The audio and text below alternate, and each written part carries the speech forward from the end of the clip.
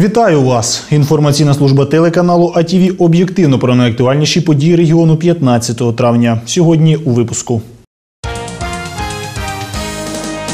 Сумщина готується до ЗНО. Цьогоріч освітяни не вносять новації в правила проведення тестування.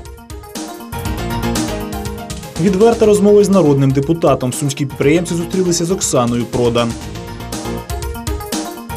Рідний край, яким його бачить малеча. Фрунзенці підбили підсумки конкурсу дитячого малюнку. Сумщина готується до ЗНО, враховуючи суспільне напруження, викликане подіями в країні, освітяни не вносять жодних новацій у правила проведення тестування, аби убезпечити випускників та їх батьків від зайвих переживань. В області незалежне оцінювання знань будуть проходити більше 8 тисяч випускників. Серед них троє переселенці з Криму. Цього року е, найбільше е, обирали предмети випускники це математика, е, це українська мова література, звісно, і біологія вийшла на третю позицію по обираємості предметів. Потім стоїть фізика, і нас, як педагогів, досить це тішить, тому що сьогодні перелік цих предметів говорить про те, що обирається спеціальність пов'язані з інженерно-технічним напрямком. На Сумщині організовано 22 пункти проведення ЗНО. 18 з них розташовані у вищих навчальних закладах, 4 в училищах. Вартість проживання для випускника або батьків у гуртожитках мінімальна до 40 гривень за добу. На сайті управління освіти і науки е, дали перелік е, повністю всіх е, тих гуртожитків, які можуть надати послуги для проживання, всі контактні особи, телефони і вартість перебування за добу. Втім, без особливостей цього року не обійшлося, принаймні для Сумщини. За інформацією освітян, кожен третій бажаючий пройти зовнішнє тестування випускник минулих років. Працівники Харківського центру проаналізували це явище і дійшли висновку. Серед учасників тестування минулорічних багаторічних випускників значна частина студентів-першокурсників контрактних відділень, які вступили на контракт, а тепер хочуть спробувати свою долю отримати вищі оцінки і піти на бюджет. Саме вони дали, да- да- дали таке зростання кількості. ЗНО буде проведено за 13 тестувальних днів. Графік щільний, але враховує і складність предметів, і кількість абітурієнтів. Ігор Стрільцов, Руслан Павлов, АТВ. Літні канікули цікаво і з користю. Міське управління освіти закликає батьків залучати дітей до активного відпочинку і пропонує свою допомогу. Окрім пришкільних і профільних таборів, влітку будуть працювати позашкільні заклади. 30 травня у школах пролунає останній дзвоник. Наступного дня у всіх закладах міста відбудуться випускні бали. Одинадцятикласники закінчать навчання 22 травня. Впродовж тижня складатимуть державну підсумкову атестацію. У четвертих класах державна підсумкова атестація вже розпочалася з 13 травня, триватиме по 22 травня. А для дев'ятих класів державна підсумкова атестація з 2 по 16 червня. Навчальний рік завершується, але не у позашкільних закладах. Освітяни заради безпечного відпочинку дітей обіцяють піти на зустріч кожній родині.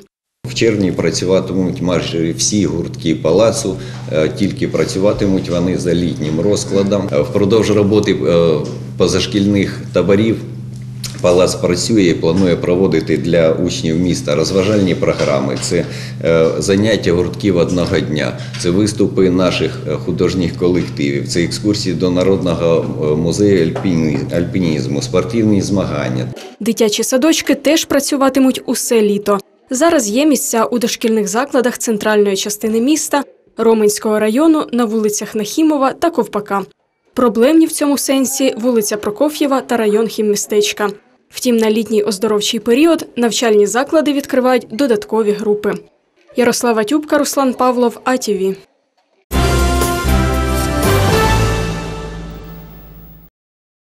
Відверта розмова із народним депутатом. Сумські підприємці зустрілися з Оксаною Продан, яка активно відстоює інтереси дрібного бізнесу у Верховній Раді. Про що говорили, знають наші журналісти. Оксана Продан добре відома як лідер податкового майдану 2010 року. Нині ж вона прямий представник підприємців у парламенті. На Сумщину завітала за ініціативи прихильників кандидата у президенти Петра Порошенка, якого підтримує удар. Розмову почала з приємних новин. Уже кілька тижнів, як у Верховній Раді прийняли проект про відміну низки дозвільних документів. Це 117 дозвільних документів, які е, різні і ліцензії, і погодження, і дозволи, які були введені протягом багатьох років. Ми прийняли і відмінили одним рішенням, одним законом. Да, вони ще не запрацювали. Змінені рішення, але вони є, і я впевнена, що найближчим часом кожен з нас зможе скористатися цим рішенням і відчути, що насправді влада почала мінятися в Україні е, на бік підприємництва, на бік кожної людини. А ще зменшення штрафів для новостворених підприємств і відповідальність чиновників за незаконні дії. Якщо сьогодні кожен громадянин або порушивши закон, або не сплативши вчасно податки, чи навіть не здавши звітність, повинен платити, то держава, чиновники, які порушують закони, абсолютно ніяк за це не відповідали. Вчора в першому читанні був прийнятий наш законопроект, який передбачає обов'язок державного органу влади е, позиватися регресно до того чиновника, який призвів до порушення закону, до порушення прав е, громадян і підприємців так само. Натомість сумські підприємці поділилися своїми бідами. У кожного проблема своя, але всі сходяться в одному. Умови для розвитку бізнесу в Сумах далекі від ідеалу. То 4 роки ми працюємо без документів. Нам відключили електроенергію, відключили комунікації. Але ж ми теж люди, хочемо жити, працювати. все, що можливо зробити, зроблю. Але знову ж таки, ви самі розумієте, що місь- міська влада, місцева влада, вона залежить від вас. Оксана Продан, як і Петро Порошенко, підприємці з досвідом і розуміють, що нині бізнес встояв не завдяки, а всупротив державній політиці. Тож пообіцяла, що нова влада врахує всі проблемні моменти, аби надалі виборювати права дрібного бізнесу на рівні парламенту. Наталка Лисенко, Володимир Спасьонов, АТВ.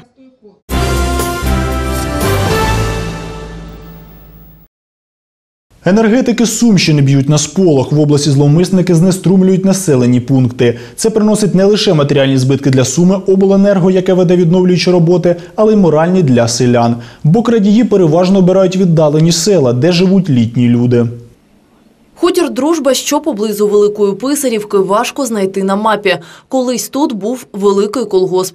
Нині все поросло травою. Комунікацій нема. Усі мешканці поважного віку. А тут ще й біда спіткала. Зникло світло. Утром я вышел, а что, курям скосить травы на улице. А мужик один каже, а что коло трансформатора все раз забрато валяется, каже, на тем на землі, каже, то. Я кажу, не знаю, я там не туда, що не гляделся, не ходил туда. Якби не оперативність енергетиків району, в селі настав би кінець світла. Лише за добу працівникам Сумиобленерго вдалося відновити електропостачання. Додають, це не поодинокий випадок в регіоні. За останній місяць лише у Великописарівському районі таких трапилось два. В першому і в другому випадку е, відключення електроенергії проїсходили ввечері, а люди зверталися тільки вранці. Села е, являються малонаселеними. В основному е, проживають літні люди, які не мають змоги оперативно позвонити і доповісти диспетчеру, що відсутня напруга. Не гребують мисливці на металобрухт і мастилом. З кожного трансформатора мають більше 200 літрів. Їх не зупиняють ані кримінальний кодекс, ані інстинкт самозбереження, адже трансформатори під високою напругою. Данный вид преступления люди совершают, как показывает практика и анализ проведенный, совершает подготовленная группа лиц и, как правило, она передвигается на автомобилях. Предметом посягательства является цветной металл. Вот. Э, Это соблазн, э, сдают цветной металл на пункты приема металлома. Щоб вберегти оселі від знеструмлення, енергетики, правоохоронці та посадовці діятимуть разом. Проводимо також по узгодженню з технічною дирекцією, з нашим керівництвом, проводимо спільні рейди по е, таким віддаленим е, селам, по віддаленим нашим енергооб'єктам е, з такою метою, щоб не тільки наші представники, а представники правоохоронних органів виявляли спроби таких крадіжок, спроби пошкодження нашого майна. І закликають людей оперативно реагувати на енергокрадіжки. У разі раптового зникнення світла або якщо побачили невідомих осіб біля електромереж і трансформаторних підстанцій, повідомляйте правоохоронців, диспетчерську службу обленерго чи звертайтесь до місцевої влади. Ніна Паустовська, Сергій Матенко, АТВ.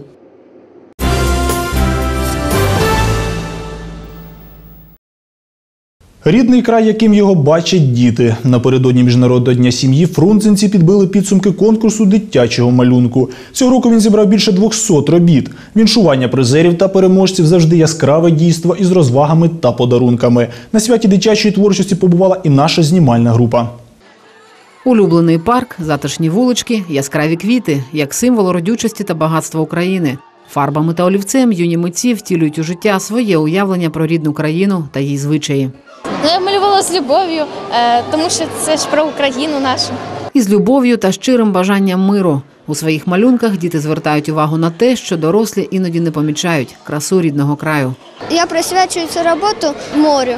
Я з татом бував уже на морі, але мені ще хочеться побувати там, тому що мені дуже там подобається. Я намалювала цю україночку, тому що вона дарує щастя і любов, щоб ви всі любили свою державу і інших людей, поважали їх. Я в этом конкурсе уже участвую не раз. Приходишь, можешь посмотреть на другие работы, можешь посмотреть и с кем-то познакомиться, подружиться, стать лучшими друзьями. Маленький Матвій із пензлем ще не знайомий, проте вже зараз палкий шанувальник художньої творчості. Нею займається його старша сестра. Участь у конкурсі донька Сергія Тарасенка бере вже другий рік поспіль. Детям очень нравится. Очень. Даже спрашивают, когда будет еще раз следующий. Ну, получает удовольствие от того, что рисует, ее приглашают сюда. Своїми художніми талантами юні фрунзенці дивують журі вже вп'яте. Кожен раз дітлахам пропонують нові теми для польоту фантазії. Минулого року це була казка, тепер рідний край. Когда меня спрашивали, а будем ли мы проводить праздник в этом году, а будет ли он в следующем году, я считаю, что эта традиция абсолютно не зависит ни от погоды на улице, ни от каких-то событий в стране, просто потому, что это семейный, наш семейный фрунзенский праздник. Комплекти нагород, призи та солодощі. Жоден із конкурсантів не залишився без подарунків. Були й особливі презенти для переможців у трьох вікових групах і симпатиків читачів заводської газети Фронтзенець та інтернет-спільноти. Каждая работа по-своему непревзойденная, и поэтому в нашем творческом состязании никогда не бывает побежденных. Мы хотим, чтобы наши дети были счастливыми. И этот конкурс – это один из многих способов добавить частичку счастья в их жизнь. Зануритися у світ щасливого дитинства, де кожна фантазія унікальний художній витвір, а головний художник ти сам. Таку можливість юні фрунзенці матимуть і наступного року. Що саме стане темою конкурсу, журі ще не визначила. Проте не сумніваються, яскравих і талановитих робіт буде не менше. Анна Світлична, Валерій Коваленко, АТВ. На сьогодні в мене все. Свіжі новини ви завжди можете знайти на сайті каналу www.sumi.ua. Далі для вас цікава та корисна інформація. Залишайтесь з АТВ.